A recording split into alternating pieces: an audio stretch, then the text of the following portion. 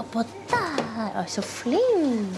Kanskje den kjekke mannen bak oss skal hjelpe oss litt? Det er så innmari mye tunge varer. Ja, ville du det? Å, nå ble du glad.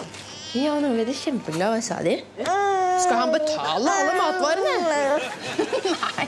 Men den kjekke mannen, vet du hva? Kanskje han bærer hjem alle posene våre? Hjem til der vi bor. Nå må vi huske å si tusen takk til mannen, da. For at, høyre, for at han bærer opp all, høyre, alle varene. Opp alle etasjene. Ja.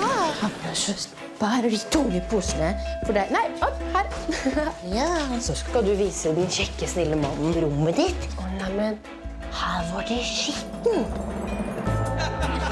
Se noen.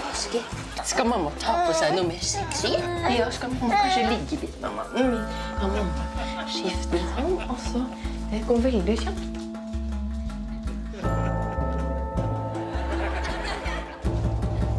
Da har mamma skifta. Mamma har ikke på seg truse.